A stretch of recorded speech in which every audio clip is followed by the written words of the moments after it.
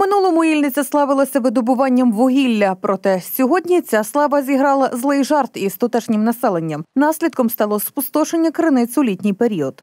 Ми воду втратили в зв'язку з шахтами. Бувають такі моменти, що літом ми не маємо звідки ту воду брати. Розумієте? Річки ці велика потреба населення. Чимало жителів Ільниці вже пробурили власні свердловини, аби забезпечити потребу живильної рідини. Буває подекого колодязі висихають, й сухає літ. Почали бурити скважини.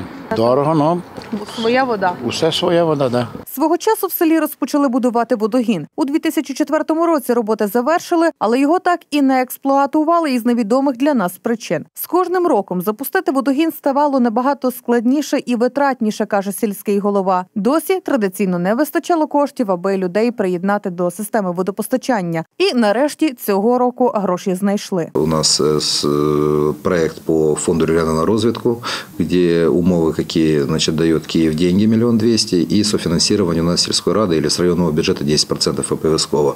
То есть этот проект был сделан на початку 2017 года. Роботи планують завершити до 15 грудня. Тож найімовірніше, ще цього року водогін в Вільниці вперше за 20 років запрацює, а місцеві жителі зможуть споживати якісну артезіанську воду з урочища НПП Зачарований край у себе вдома.